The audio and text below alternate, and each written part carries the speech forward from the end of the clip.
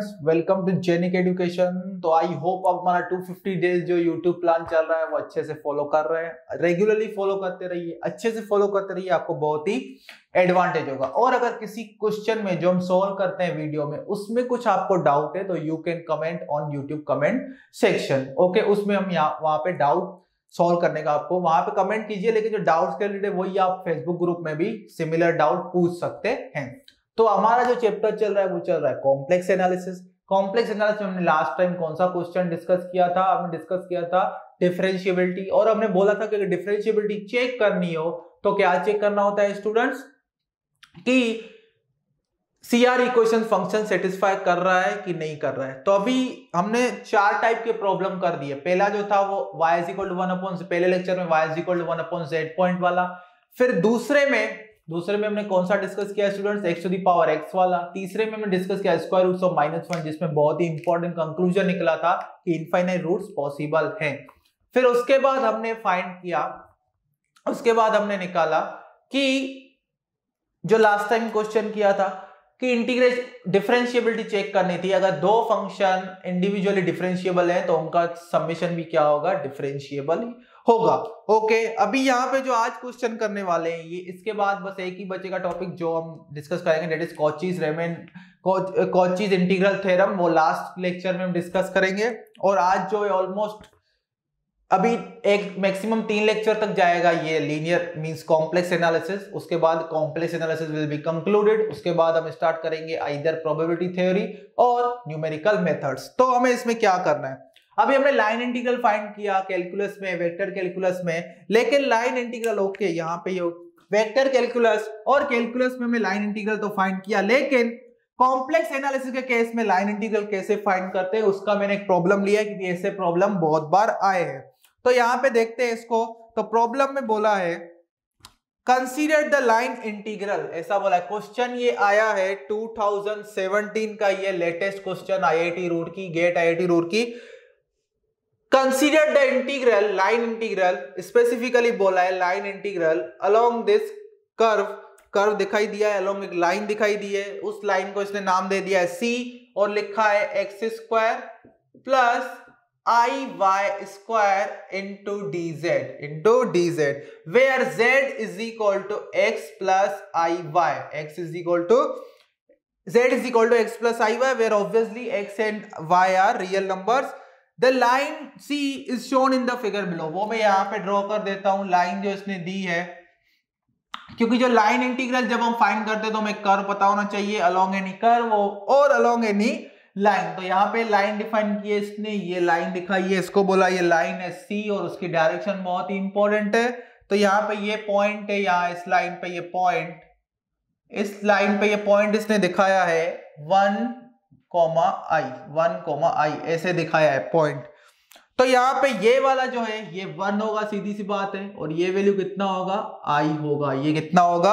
आई okay ये अपना x axis ये अपना वाई एक्सिस तो the value of i is बस ये पूछा है कि आई की वैल्यू क्या होती है, और इस लाइन के अलोंग हमें जाना है. तो यहाँ पे देखो, ये अपना है ओरिजिन और दूसरा क्या दिया है इसमें डेटा बस इतना ही डेटा दिया है और डायरेक्शन दे दिए कि यहाँ से यहाँ तक जाना है। तो सबसे पहले सबसे पहले ये लाइन दी हुई है। ओके okay, तो इसको सॉल्व कैसे करेंगे? तो i is equal to c integration of x square plus i y square into d z तो यहाँ पे दो तरीके सबसे पहले जो वहाँ पे लाइन दी हुई है जो पाथ दिया हुआ है जो रास्ता दिया है उस रास्ते पे चल के इस इंटीग्रेशन को सोल्व कर रहे हैं। तो सबसे पहले डीजेड क्या होगा वो देख लेते हैं। जेड हमें पता है जेड हमें पता है तो यहाँ पे डीजेड फाइंड करना है तो क्या करेंगे? टोटल डेरिवेटिव का कॉन्सेप्ट लगाएँगे मल्टी वेरिएबल कैलकुलस का that comes under the portion of partial derivative कि क्या करेंगे? डीजेड निकालना है। ये मल्टी वेरिएबल फ़ंक्शन है, क्योंकि ये किसका फ़ंक्शन है? एक्स और वाई का। तो इसका ओवरऑल डेरिवेटिव निकालना है। डीजेड तो हमें क्या लगाना पड़ेगा students total variable concept that is पहले पार्शियल डेरिवेटिव लेंगे जेड का विथ रिस्पेक्ट टू क्या? डी एक्स प्लस किसका पार्शियल डेरिवेटिव लेंगे? जेड का with respect to y into d y with respect to y into d y ये हो गया। अभी पार्शियल डेरिवेटिव लेंगे। किसका? Z का विथ रिस्पेक्ट टू x तो उस टाइम y क्या होगा? अपना कांस्टेंट ये वाला टर्म होगा। कांस्टेंट उसका derivative zero del x upon del x क्या होगा? One into d x one into d x plus del z by del y क्या होगा? उस टाइम एक्स कांस्टेंट होगा। वाई का डेरिवेटिव लेना है आई वाई का तो आई वाई में आई तो कांस्टेंट है square root of minus one तो d y by d del y by del y क्या होगा? वन होगा प्लस आई इंटू क्या बचा? डी वाई बचा। तो इसका क्या d x plus i d y ये हो गया अपना डी जेड तो सिंपली जेड जब होता है जेड क्या होता है? Complex number x plus i y तो उसका dz क्या होगा? dx plus i d y simple ये सिर्फ़ मैंने एक स्टेप बताया कि आपको याद रहे in the back of your mind you have to keep that कि ये कैसे आता है। कभी फंस गए तो ये आना चाहिए। टोटल डेरिवेटिव कॉन्सेप्ट अभी यहाँ पे कहाँ पे जाना है? इस लाइन के थ्रू हमें, इस लाइन क्या निकाला है? Line integral along this line line integral along this line अभी इस लाइन पे देखो। इस लाइन पे अगर देखेंगे तो यहाँ पे ये इमेजनरी एक्सिस है। जनरली हम ऐसा नहीं डिनोट करते। जनरली हम जब कॉम्प्लेक्स एनालिसिस करते हैं तो ये पॉइंट में ये आई नहीं लिखते। हम सिंपली क्या लिखते हैं? आई के, जो आई का कंपोनेंट होता है that is y that is real number लेकिन इस क्वेश्चन में ऐसा क्या किया है? नोटेशन यूज़ किया गया है। तो जनरली हम जो कॉम्प्लेक्स एनालिसिस होता है, उसमें कैसे लिखते हैं? इस एक्सिस को लिखते हैं आई वाई इस पॉइंट को हम जनरली ऐसे डिनोट करते हैं वन वन और यहाँ पे हम लिखते हैं आई और इज़ इक्वल टू इसको ऐसे में लिखते हैं एक्स प्लस आई वाई जब हम रेक्टेंगुलर फॉर्म में लिखते हैं कॉम्प्लेक्स पॉइंट को, तब हम आई लिखते हैं, और जब ऐसे लिखते हैं ऑर्डर्ड पेयर तो वन वन ऐसा दिखाते हैं, और बोलते हैं कि ये कॉम्प्लेक्स प्लेन है, उससे हमें समझ आ जाता है कि जो सेकंड पॉइंट होगा, वो क्या होगा? इमेजनरी होगा, और यहाँ पे इसको दिखाया गया है आई ये बात हो गई स्टूडेंट्स क्लियर ओके तो ये हमें पता है। अभी यहाँ पे देखो, ये पॉइंट देखो इस पॉइंट पे x की वैल्यू क्या है? वन है। इस पॉइंट को हम कैसे यहाँ नोट करते हैं? x कोमा वाई तो इस पॉइंट पे point P at point P at point P. यहाँ पे इंपॉर्टेंट इंफॉर्मेशन है that x comma y both are one इसका मतलब ये लाइन है जिस पे कोई भी पॉइंट हम ले रहे हैं, कोई भी पॉइंट ले रहे हैं, वहाँ पे x और y दोनों क्या है? इक्वल है तो वो कौन सी लाइन होगी? Y is equal to x y is equal to x या इस लाइन क्योंकि ये क्या है? लाइन ओरिजिन से पास हो रही है। ये पहली बात, ये लाइन ओरिजिन से अभी इसको लाइन के इक्वेशन लिखने के बहुत तरीके लाइन ओरिजिन से पास हो रही है और लाइन पे सारे पॉइंट्स एक्स और वाई कोऑर्डिनेट इक्वल है। इसका मतलब लाइन की इक्वेशन क्या होगी? वाई अपॉन एक्स या ये एंगल निकालोगे तो कितना आएगा? 45 degree because tan theta is equal to this length divide by this length वो वन वन है तो 45 डिग्री तो वो क्या होगा? Line y is equal to x क्योंकि c y इंटरसेप्ट क्योंकि लाइन ओरिजिन से पास हो रही है तो y इंटरसेप्ट होगा ज़ीरो इसलिए y is equal to standard equation of straight line लिखेंगे standard equation of straight line of straight line क्या होगी equation y is equal to an xy plane, Cartesian coordinate system. Y is equal to mx plus c. Mx plus c. C क्या होता है? Y intercept और m हम कैसे निकालते हैं? Slope y2 minus y one divide by x two minus x one और m is equal to tan theta tan theta ये जो यहाँ से थीटा निकलेगा, उसका टेन ले लेंगे तो क्या हो जाएगा? वो हो जाएगा अपना स्लोप अपना स्लोप और जब एंगल कंसीडर करते हैं तो कौन सी डायरेक्शन में हम कंसीडर करेंगे in counter clockwise direction with respect to x okay तो यहाँ पे इतने सारे तरीके अभी लाइन ओरिजिन से पास हो रही है तो वाई इंटरसेप्ट तो ज़ीरो मींस इस केस में in our case in our case y क्या होगा?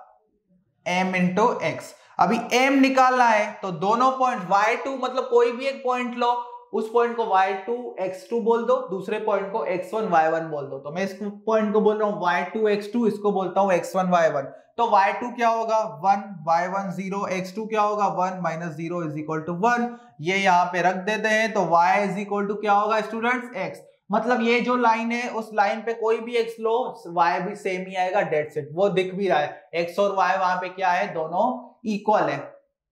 इसका मतलब क्या है? Y is equal to x यहाँ पे देखो, यहाँ पे इक्वेशन अगर फाइंड करनी है लाइन की तो लाइन की इक्वेशन फाइंड करने के लिए कम से क्या होना चाहिए अपने पास इंफॉर्मेशन या तो दो पॉइंट होनी चाहिए एटलीस्ट या तो एक पॉइंट और लाइन का स्लोप पता होना चाहिए। एक पॉइंट और लाइन का स्लोप पता होना चाहिए। दूसरी बात, यहाँ पे इस पॉइंट पे दिख रहा है एक्स और वाई दोनों इक्वल है। इसका ये मतलब नहीं है कि हमेशा ये वैलिड होगा। Y is equal to x नहीं। ऐसा हो सकता है कि लाइन की इक्वेशन डिफरेंट हो, लेकिन कोई एक पॉइंट पे दोनों वैल्यू इक्वल हो जाए। कोई एक पॉइंट पे दोनों वैल्यू इक्वल हो जाए। तो ब्लाइंडली अगर एक पॉइंट देख लिया x is equal to y इसका मतलब हमेशा ऐसा y is equal to x नहीं होगा। तो हम क्या करेंगे? हम लाइन का इक्वेशन फाइंड करेंगे। लाइन का इक्वेशन फाइंड करेंगे। कैसे? दो पॉइंट अपने पास है तो लाइन का इक्वेशन निकल सकता है। यहाँ से, यहाँ स्लोप की हेल्प से भी निकल सकता है। ओके तो हमने क्या किया? दो पॉइंट का यूज़ किया और लाइन का इक्वेशन हमें मिल गया। तो हमें हमने क्या प्रूव किया?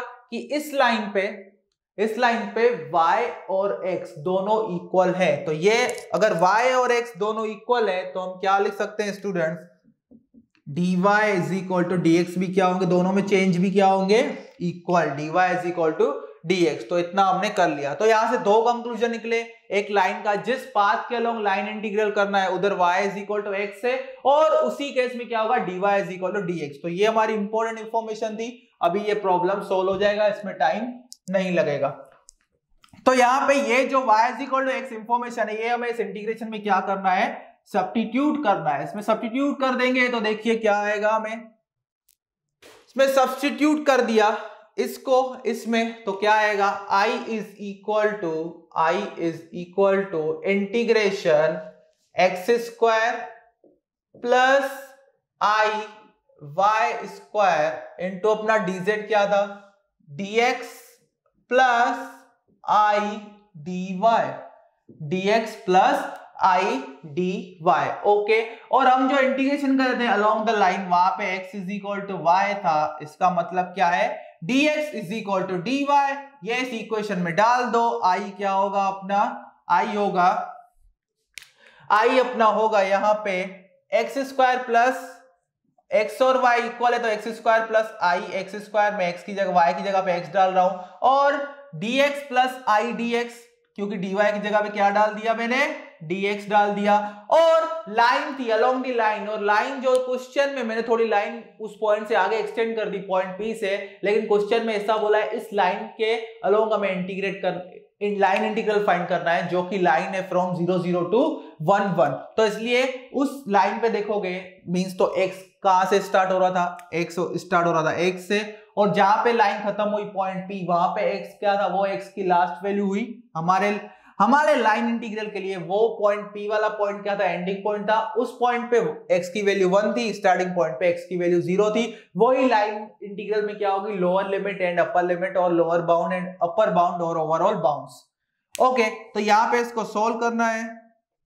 तो यहाँ से एक्स स्क्वायर कॉमन निकाल सकते हैं। ये क्या बचेगा?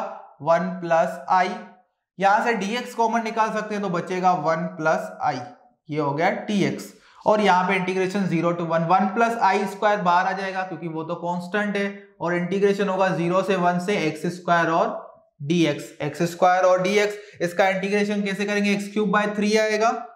एक्स क्यूब बाय थ्री और बाउंस क्या होंगे? ज़ीरो टू वन इसका मतलब आंसर आएगा अपना one plus i square by three क्योंकि इस इंटीग्रेशन इसका रिज़ल्ट क्या होगा? One by three minus zero by three that is one by three one by three into one plus i whole square क्या होगा? One plus i whole square by three.